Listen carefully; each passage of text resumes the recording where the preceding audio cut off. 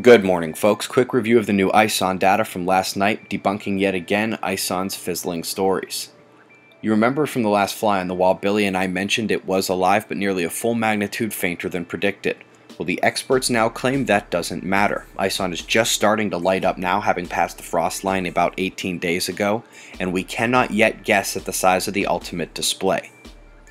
Interesting story about how excess rainfall over Australia two years ago actually caused a sea level drop due to the water locked on land. This is a top recommendation today. Sticking southwest of the Pacific Ocean, the White Islands volcano in New Zealand decided to let loose again. It's been active for months, but this is one of the bigger eruptions there this year. Aforementioned Australia rain story is kind of laughable as high pressure keeps most of the continent dry for the bajillionth day in a row, Next 48 hours shows threats south and all across New Zealand. The storms rolling across Europe are no joke. They are only severe in isolated areas and luckily headed out of Europe tonight, while the next low is cresting over the UK today and into tomorrow. High pressure in the east drives clockwise, with the lows just east of the Rockies wanting counterclockwise motion. In the middle, where they meet, both are forcing northward, and the wind map reveals it. Check local warnings southeast and west tonight.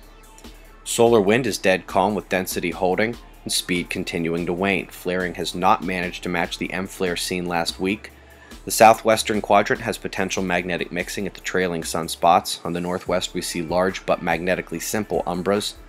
Turning in on the south, we see a diabolical set of sunspots, but which haven't yet cleared their throats, and up north we appear to have flare potential as well.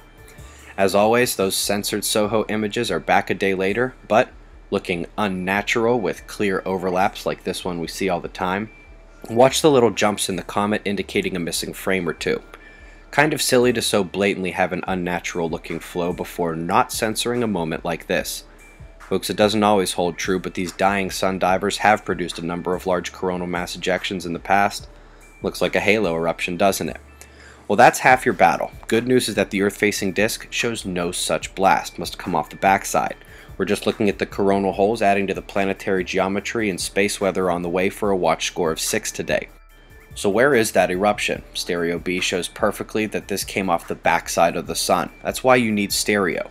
SOHO shows a halo from direct and oppositely fired CMEs. However, we do have something on the Earth-facing disk, the megafilament dancing in an Earth-facing position just ripped away from the sun, like just as I was recording the images. Most appears headed south, but that'll give you something to check before the evening news. Eyes open. No fear, it's 6.55 a.m. Eastern Time and that's the news. Be safe, everyone.